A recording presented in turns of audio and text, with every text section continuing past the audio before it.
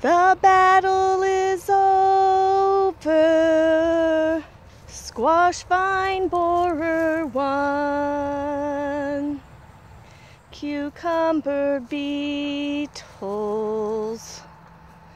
are not my friend. Squash bugs are coming more and more each day. I'll just pick my harvest and start over again. That's my battle lost cry. I've tried. I've tried the organic battle. I'm still fighting. I'm hoping that some of these will mature out. I've really had some really nice spaghetti squash coming on. I planted them really late. Some people say if you plant them late that you'll avoid some of the uh, pests that they've gone other places or passed you by, went north or south. Uh, this one, I mean, it's still trying to bloom. There's several vines in here, so there might just be one that's dead. So I'm afraid to pick them all out because, you know, that one's clearly dead. That, but this one's not next to it. And so what it is is a vine borer. I haven't tried to locate it. It disgusts me out, but they bore it right into the stem and they eat the guts out. So your plant's great looking, doing great, no sign of decline, and then pfft, in one, two, I mean, in two days, you know, it looks droopy like you need to water, but that's not it. By then it's too late.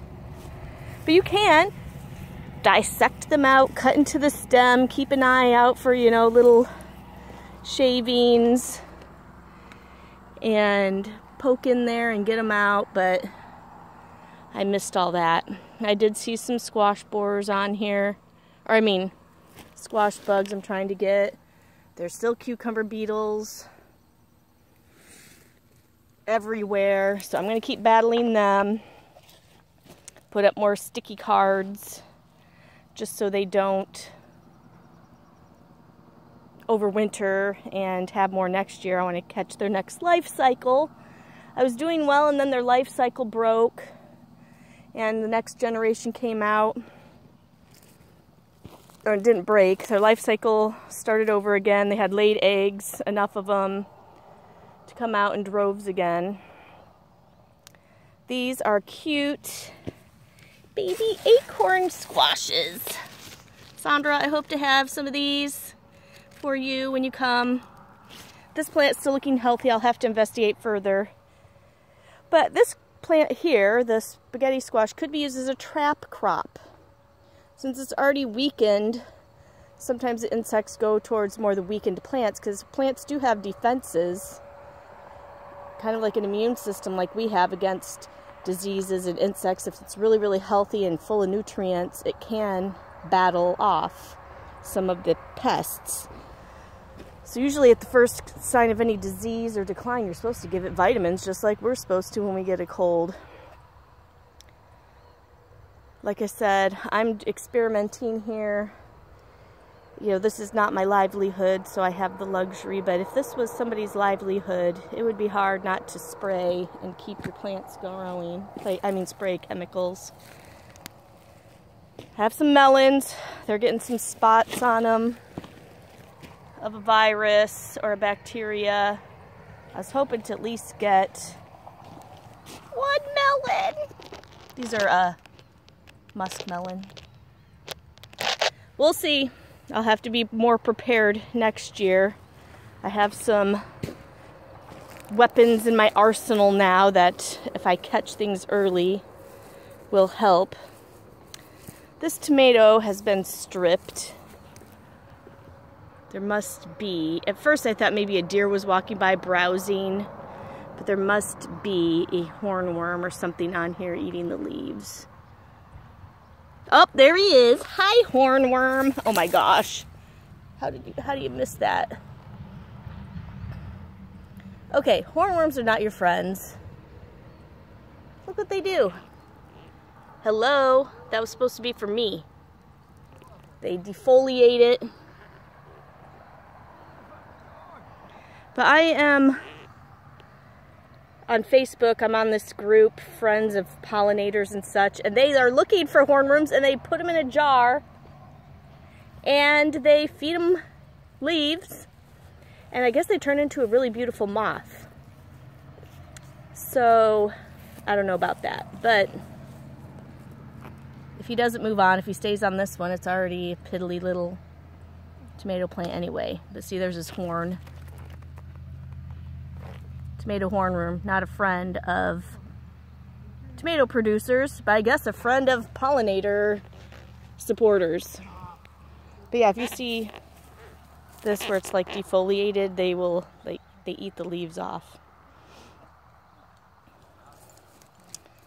I have been able, I mean, I've had the best cucumber year ever that I've ever grown cucumbers.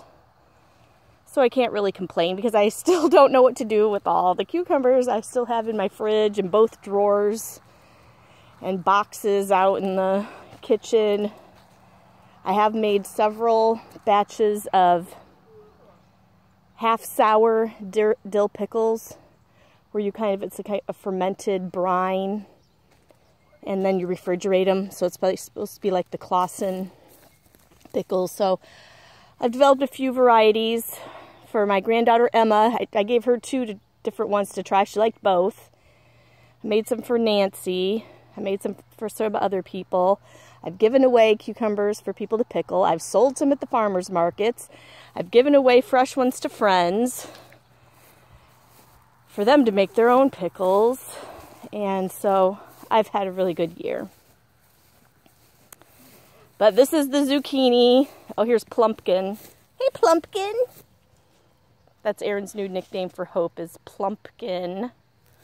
So this one lost the battle. This was a robust zucchini. I don't know if I wanted, this year I don't know if I'm going to do the dissecting and look for the worm. I'm sorry, we're just going to burn it so they don't lay eggs for next year. So that one's declining, but I did see a couple more. Dan, Dan's our harvester of the zucchini. That's his job. It's easy to miss them and then you're like, Oh, that one got huge. I did see one here. One or two here. Still coming on. So we'll keep harvesting till they completely die off like that one. That's not making anymore. And then the striped zucchini, he just harvested them the other day. They are huge, but yesterday at the farmer's market, someone said those Italian striped zucchini are have a little bit more sweetness to them. And so those were the ones I was going to shred anyway. Once they get too big, I cut them open, scoop out the seeds, just like you would a watermelon, or I mean a cantaloupe or a muskmelon, and then shred it up. Then in the winter we can use it to make zucchini bread, or I put it in like chili and stuff. Nobody knows it's in there. It disintegrates. Or in soups and stuff. Shredded zucchini. Good way to get your nutrients in there. So again, this is the cucumber harvest for today. So it's not over yet. I mean, the battle's over, but the harvest is still coming on. And I'll just start over again with my